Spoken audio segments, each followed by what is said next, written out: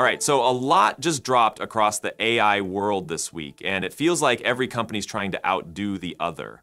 Google's secretly testing Gemini 3, OpenAI just published a study basically listing the jobs most at risk of being replaced by AI, and then out of nowhere, an open source model called Ovi showed up. People are calling it the open source Veo 3 since it's hitting similar quality but runs fully local. It turns text into short talking videos with synced audio. All right, so first, Gemini 3. Google's been running quiet A-B tests inside its AI studio, and people have already spotted references to something called Gemini Beta 3.0 Pro. That means the model's being benchmarked internally right now, and it's looking pretty serious. It's not selectable yet in the model dropdown, but developers have seen it appear in the backend under starter apps. It looks like Google's planning to launch it publicly soon, right when their Gemini at Work livestream goes live. That event's probably going to show what Gemini 3 can actually do. Early testers say Gemini 3 crushes complex coding tasks, especially front-end development. In one test, it generated a full SVG of a PlayStation 4 controller, perfectly drawn, minimal errors. That's not just text reasoning anymore, that's real graphical precision. And here's what's interesting, when compared to Anthropic's Claude 4.5 Sonnet, Gemini 3's outputs were more accurate and faster in SVG generation, coding speed is high, and it's got enhanced multimodal understanding, meaning it handles both text and visuals better than before. Developers also noticed UI tweaks inside AI Studio. There's a new section called My Stuff. It's basically a gallery where all your generated images, snippets, or bits of code live, which hints that Google's turning AI Studio into a more integrated ecosystem. So this goes beyond a regular model upgrade, it's shaping up to be a full transformation of the entire workspace. Now, Gemini 3 comes in more than one form. Code references show two main variants, Gemini 3 Pro and Gemini 3 Flash. Pro's for advanced reasoning, deeper thinking, long-form tasks. Flash is built for speed. That dual lineup is basically Google's way of covering both power users and real-time applications.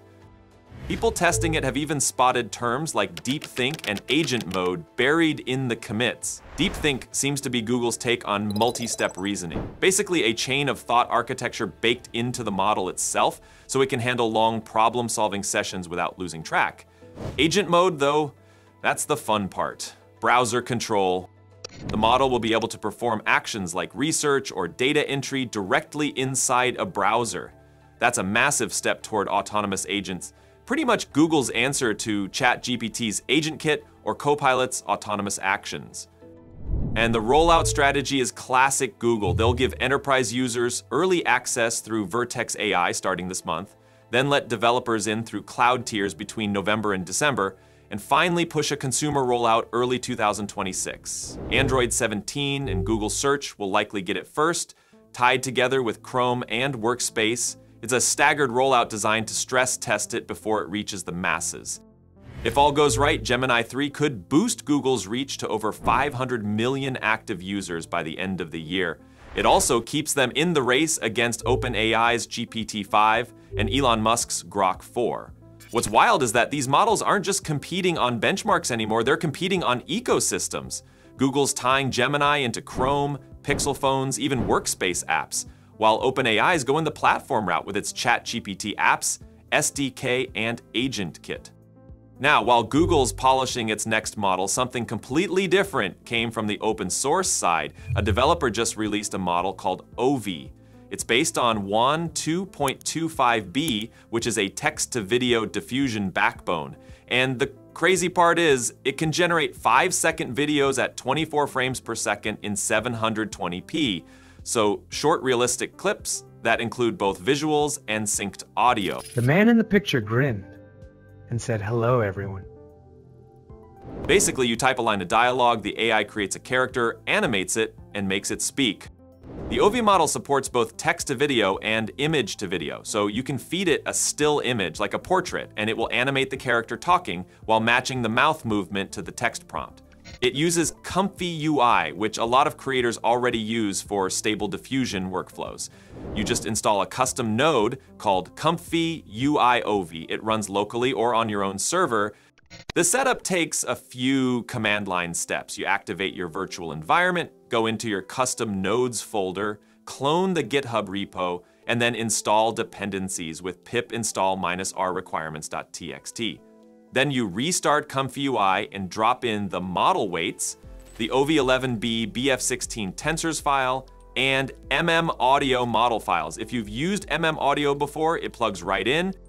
Once it's all loaded, you'll see the new Ovi engine loader node. You point it to your BF16 model file, choose a text encoder like UMT515 and hook everything up, the attention selector, Sage, attention works best, latent decoder, and video generator. The generator takes your prompt and produces the five second video. If you're doing image to video, you load a first frame image, like a person standing still, and then add a text prompt to make that image speak. To trigger speech, you wrap your script between brackets labeled S and E.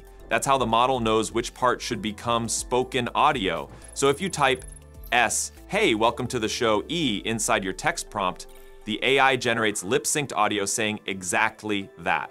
It's pretty clever. The output comes out as a combined video with audio. You set the frame rate to 24, combine the frames and audio, and done. The first time you run it, it downloads a few tokenizer files, but after that, it's smooth. A five second clip at 50 sampling steps takes roughly two minutes to generate. No torch compile or speedups. Now there are limits. You can't choose or clone voices. It picks a random one each time. There's no reference audio or way to match tone between clips and video length is fixed at 5 seconds, no more, no less. So if you chain multiple scenes, you might get the same character speaking in slightly different voices. It's a fun experiment, but not production grade yet. Still, having both video and audio generation from a single open source model is a big deal.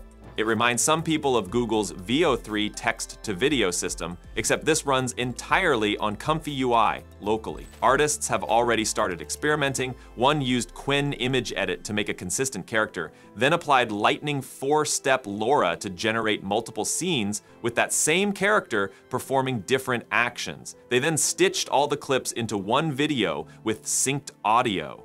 It's rough, but shows where this stuff is heading creators building short films straight from text. Now let's switch back to OpenAI, because while Google's pushing the tech forward and open source folks are democratizing video generation, OpenAI just published something that might hit closer to home for a lot of people. A new paper titled Measuring the Performance of Our Models on Real World Tasks basically measures how often AI beats humans at their own jobs. The study used something they called GDP-Val to test AI models across nine of the United States' most profitable industries. They ran AI models against human workers and compared output quality and speed. The results? AI performed as well as or better than humans in roughly 48% of tests. That's almost half. Certain jobs got completely dominated. Counter and retail clerks lost to AI 81% of the time. Sales managers and shipping clerks were outperformed in about 80% of cases. Editors, software developers, and private investigators each saw AI outperform them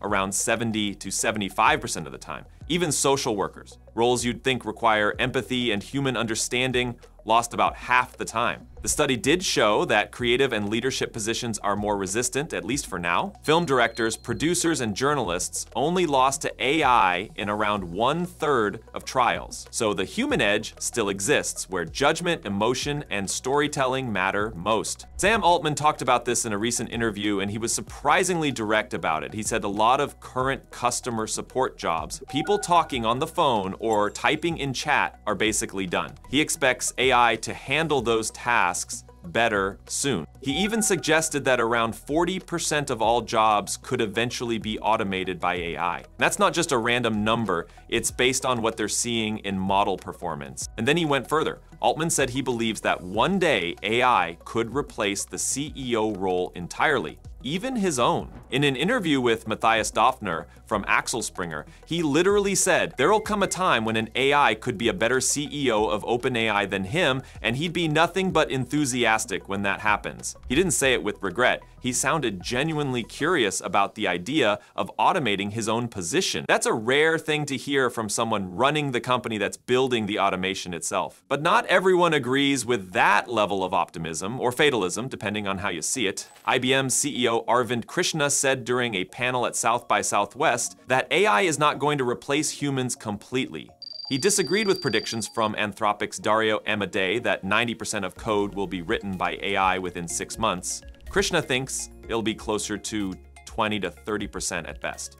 Some use cases are simple and perfect for AI, he said, but many others will stay in human hands for a long time. Still, the trend's obvious now. The race isn't about smarter chatbots anymore, it's about who builds the first fully autonomous ecosystem where AI handles everything from reasoning to real world action. Anyway, that's where things stand now. If you've been following AI for a while, you know how fast these shifts turn into real tools, so we'll see how Gemini 3's official launch shake up the next few months.